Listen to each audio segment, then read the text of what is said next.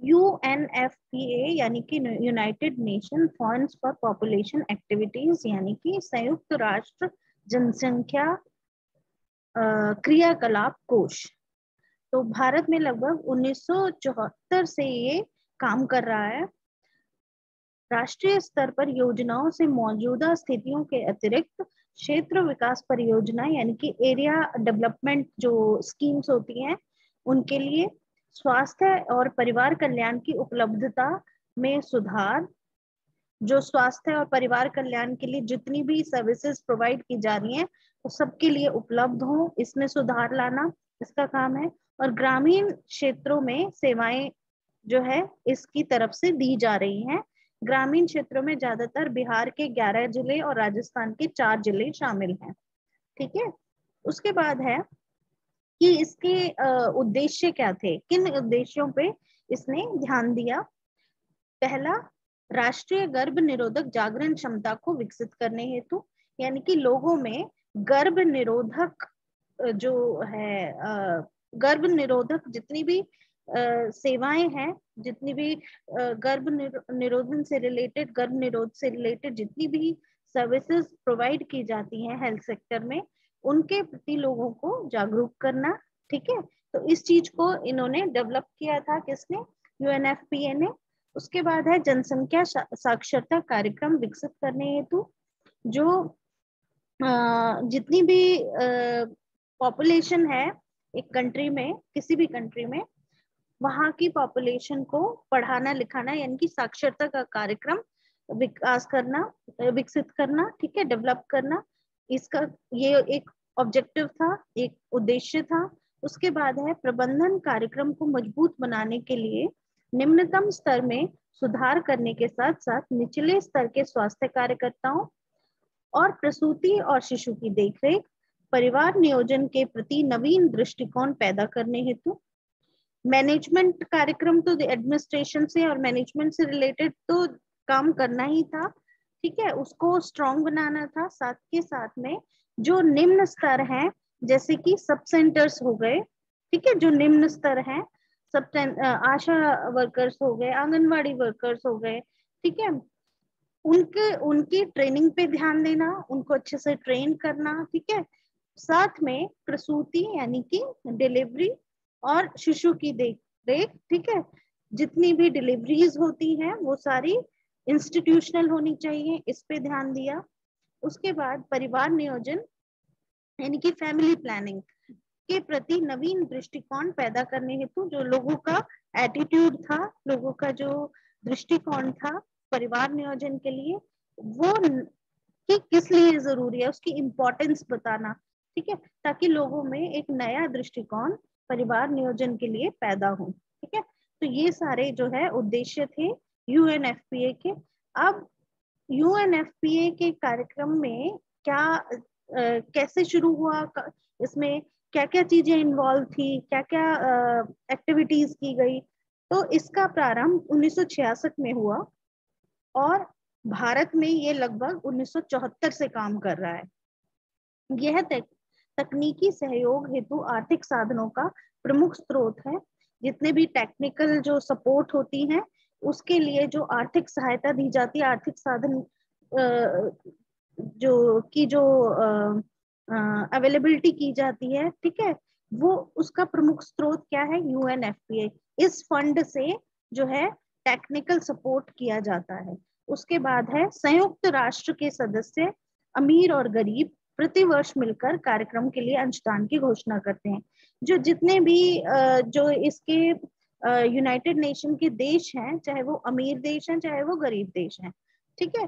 वो हर वर्ष जो है मिलके कुछ ना कुछ यहाँ पे डोनेट करते हैं इस फंड ताकि यहाँ पे उस फंड को किसी भी, जो भी गरीब राष्ट्र है, कोई भी गरीब देश है कभी कोई टाइम आता है तो वहाँ पे यूज़ किया जा सके। तो संयुक्त राष्ट्र विकास कार्यक्रम का मौलिक उद्देश्य अपेक्षाकृत गरीब राष्ट्रों को अपने मानव और प्राकृतिक संसाधनों को अधिक अच्छी तरह से विकसित करने में सहायता देना है।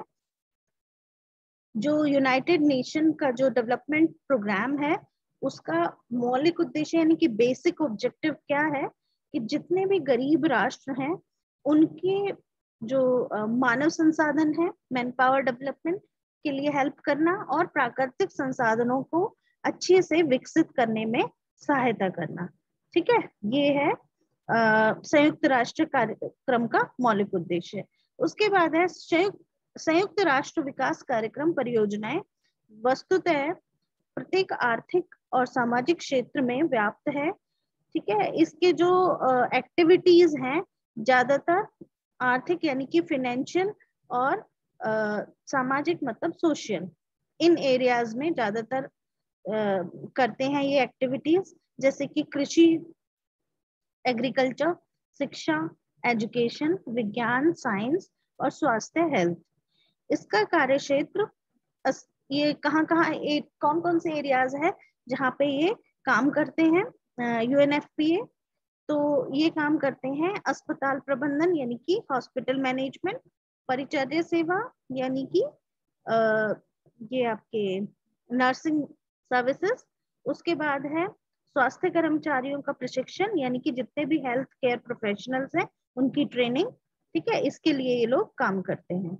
उसके बाद है नेक्स्ट हमारा वर्ल्ड बैंक वर्ल्ड बैंक की बात हुई थी, मैंने आपको बताया था जब मैं आपको नेशनल लेप्रेसी प्रोग्राम पढ़ा रही थी लेप्रेसी रेडिकेशन प्रोग्राम उस टाइम पे वर्ल्ड बैंक की बात हुई थी।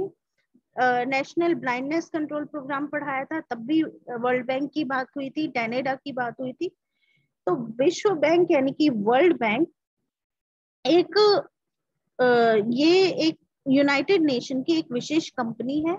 इसका कार्य सभी गरीब देशों के तकनीक संबंधी विकास यानी कि टेक्नोलॉजी से रिलेटेड जितने भी डेवलपमेंट है कृषि एग्रीकल्चर शिक्षा एजुकेशन और दुर्गम क्षेत्रों के विकास यानी कि जो रिमोट एरियाज़ होते हैं जहाँ तक पहुँच पाना मुश्किल होता है। जैसे कई हिली एरियाज़ भी होते हैं, कई रेगिस्तान में रिहाइश होती है, रेजिडेंस बनाए हुए होते हैं लोगों ने, ठीक है? तो जो दुर्गम क्षेत्रों के विकास, यानी कि जो रिमोट एरियाज़ हैं, उनकी डेवलपमेंट, व्यवसाय, ऑक्यूपेशन, ऊर्जा, एनर्जी और विद्युत शक्ति, यानी कि इलेक्ट्रिक पावर के लिए धन उपलब्ध कराना है। अगर किसी गरीब देश को, के पास पैसा नहीं है तो वो वर्ल्ड बैंक इसको उपलब्ध कराता है। उसके बाद है एफ़ यानी कि फ़ूड एंड एग्रीकल्चरल ऑर्गेनाइजेशन यह एक यूनाइटेड नेशन की विशेष एजेंसी है। इसका लक्ष्य संसार में सभी को भोजन देना है। जो फ़ूड एंड एग्रीकल्चरल ऑर्गेनाइजेशन है, ये इसका मकसद क्या है कि कोई भी भूखा ना रहे। जितने भी देश हैं उन देशों में जितने भी लोग हैं, सभी को भोजन मिलना चाहिए। यह सन 1945 में रोम से आरंभ हुई। इसका मुख्यालय भी रोम में ही है। Next is A I M S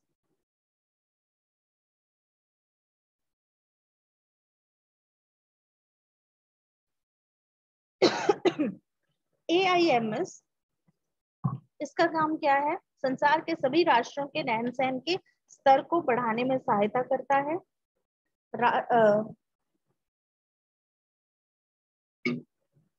ग्रामीणों की स्थिति को सुधारने का काम करता है। कृषि, फॉरेस्ट्री एंड फिशरीज की क्षमता में वृद्धि करने के लिए प्रोत्साहित करता है। ठीक है? तो ये ज़्यादातर जो है ग्रामीण क्षेत्रों में जो लोग रहते हैं और जो खेती या कृषि का काम करते हैं, जो फॉरेस्ट्री फिशरीज का काम करते हैं, उनके लिए ये एक संस्था काम करती है। तो ज़्यादातर उन लोगों के रहन सहन मतलब उनकी बेसिक जो फैसिलिटीज़ हैं, उनको वो प्रोवाइड करने का काम ये करती है संस्था। उसके बाद है डेनिडा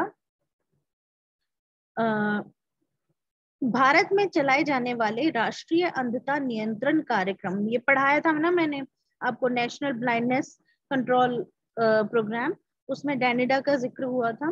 तो ये वही है, एक इंटरनेशनल एजेंसी है, जो कि डेनेडा जो सॉरी ये डेनमार्क जो देश है, वहाँ से ये शुरू हुआ था, वहाँ से ही इसका संचालन होता है और इसका आरंभ 1978 में हुआ था।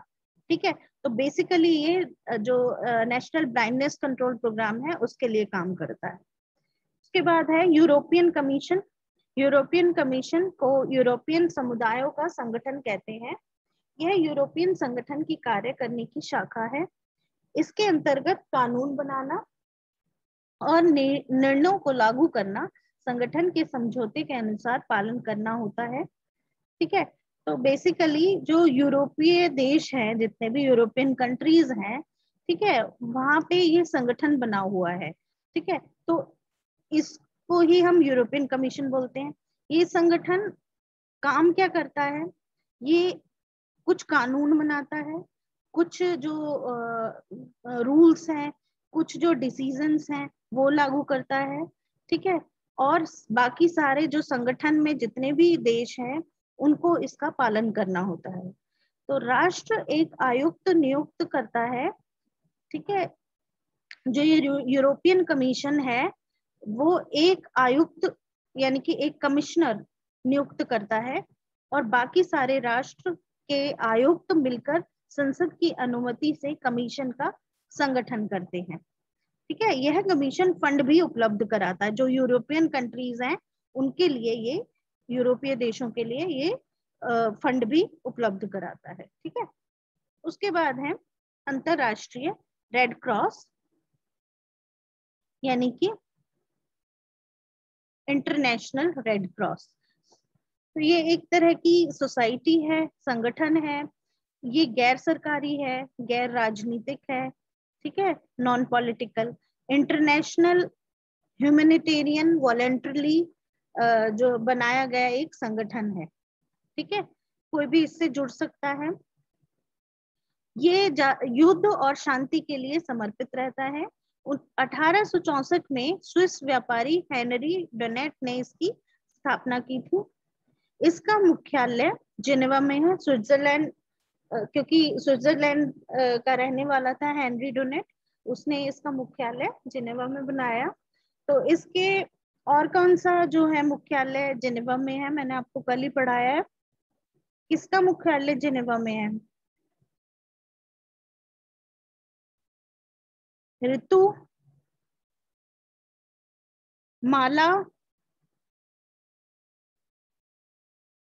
W H O W H O ठीक है?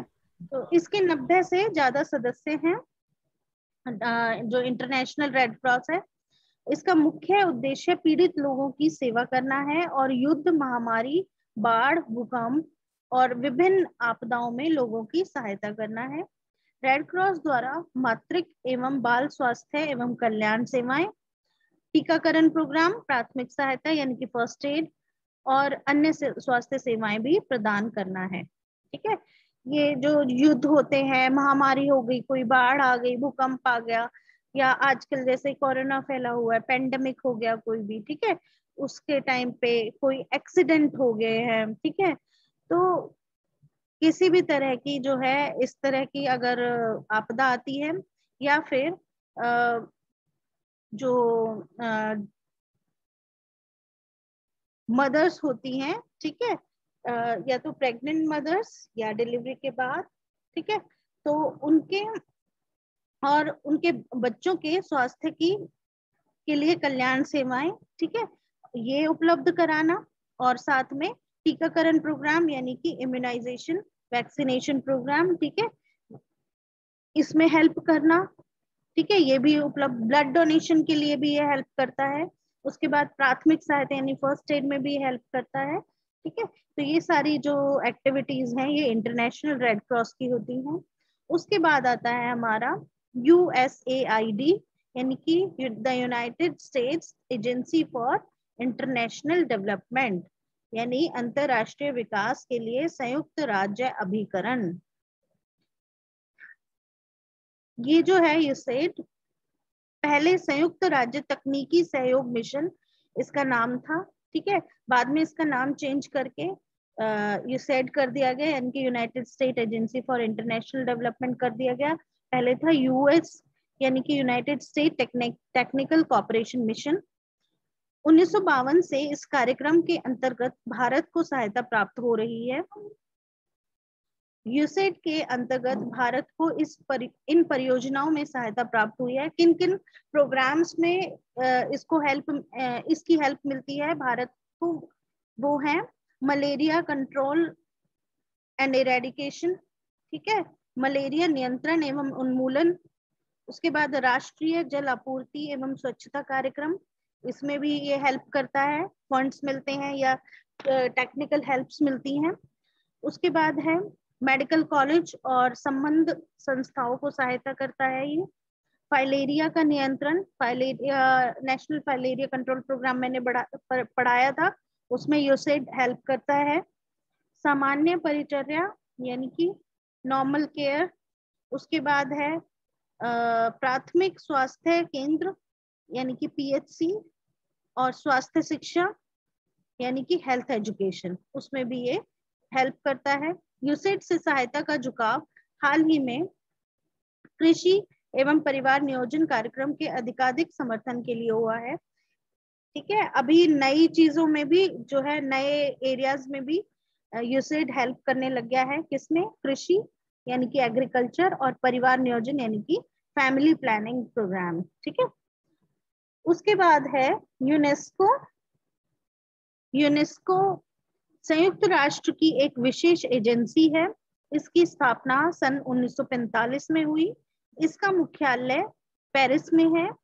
यूनेस्को में उन एक सौ तिरानवे सदस्य हैं तथा छह राष्ट्र सह सदस्य हैं।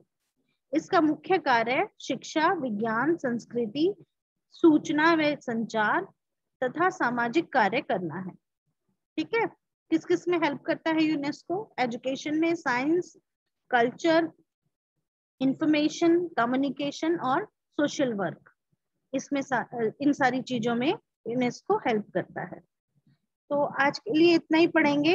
कल हम पढ़ेंगे Colombo Plan ILO CARE Indian Red Cross Society और आईसीसीडब्ल्यू ये सारे हम पढ़ेंगे। कल एक बार अटेंडेंस दे दीजिए।